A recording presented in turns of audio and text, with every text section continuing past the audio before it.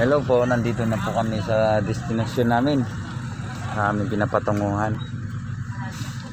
Ah, ilang oras ang biyahe? Ilan yan? Yun ang hindi ko alam.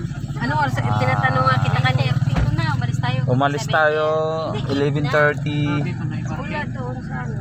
Nakarating tayo is ah, 9.20 Oo. ng umaga. Natin.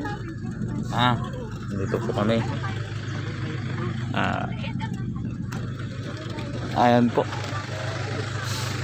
Isang Abelias. Abillas Resort Beach.